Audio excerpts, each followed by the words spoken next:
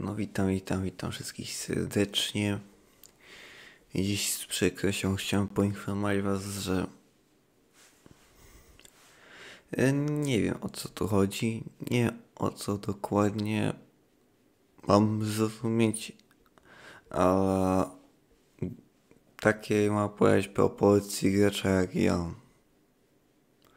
E, Z takimi ma powiedzieć niefajnymi statystykami, który w sumie dąży tylko do tego, żeby po prostu grać z innymi graczami i nic więcej. E, Dostaje, ma powiedzieć, ucinane nogi, ręce, wszystko z powodu tego, że wydaje kasy na grę i to, że że, że chce grać i tyle. No. Y, Dostałem bana niestety z nie wiadomo z jakich przyczyn, nie wiadomo z jakiego powodu, co prawdę chodzi, bo, bo są pewne skargi i opcje skarg, które można na jakiś czas uciszyć gracza, ale to nie jest taki okres, żeby wypanować bez powodu niewinnego gracza. Ja ten filmik robię z wyniku tego, bo zostałem w sumie y, niejawno osądzony za coś, co nie mi było, do- nie było przyczyny, żeby to robić, a tym bardziej powodu tego. Ja dostałem bana nie jak on określi, ale chyba za popychanie kogoś, czy coś ten deseń. Fakt, fakt, zdarza mi się popchnąć kogoś, ale to nie jest takie popychanie, e, żeby samo w sobie było jakieś złe przez jak dłuższy czas. Ja aktualnie obwiniam Wargaming za niesubordynację, za oszukiwanie pod pretekstem jakiegoś drobnego tyczku i, i żądam też zwrócenia kosztów, które wydałem na tą grę. Jeżeli Gaming e, nie usunie bana albo nie zwróci mi kosztów, to ten filmik będzie dowodem na to, jak gra postępuje z uczciwymi graczami i tym bardziej z graczami, którzy wydali dużo kasy na grę albo średnio wydają za jakiś czas kasę na tą grę. I jeszcze tylko spotyka takie rzeczy.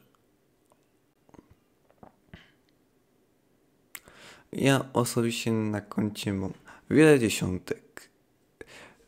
Mm, Od jakiegoś czasu rozwijam e, konto na YouTubie. Co różne filmiki stają i sami widzicie. Akurat ten ban musiał e, mnie powstrzymać na robienie misji na Ebole. Co też, e, też jest moim zdaniem powodem tego, że że Wargaming uznał, że ja za szybko chyba robię tą ebolę, albo, albo może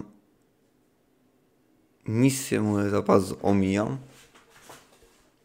Nie wiem o co tu chodzi.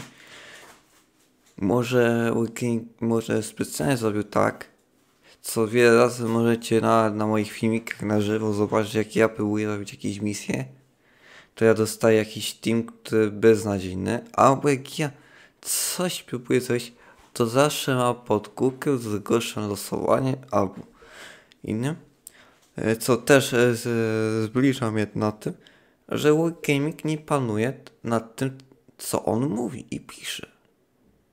Ja mogę też mogę stwierdzić na to też, że czy Wargaming chce uczciwie podjąć decyzję i przyjąć na klatę swoje wady? Czy chce nadal oszukiwać graczy pod pretekstem, że nasze rzeczy albo nie umieją grać, albo to, że lepsi gracze mają lepsze oswoje, bo są lepsi i tyle. Na przykład e, ja na przykład uważam, że multi dostaje lepsze losowania i pokazy specjalnie podkłada się pod y, porażki z wyniku tego, bo Gaming y, ma duży hajs od niego. Czyli znaczy, że można też oskarżyć Multiego o to, żeby zbanować, bo jest współpracownikiem i współdziałający też na niekorzyść firmy Wargaming, tak samo jak sam Wargaming. E, już nie o tym, że białoruska która uczestniczy najprawdopodobniej na z Rosją.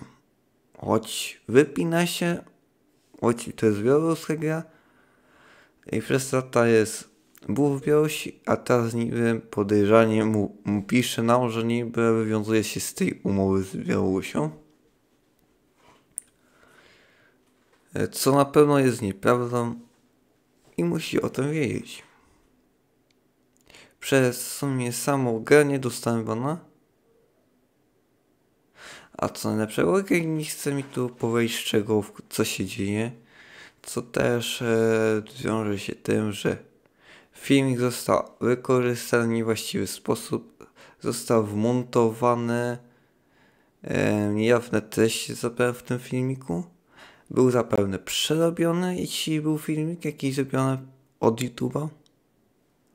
A co najlepsze, był wysłany z palca i wcale nie ma filmiku. Co najbardziej byłoby blisko znaczy u nich, że bez powodu i bez niczego lubią dokazać graczom, banując.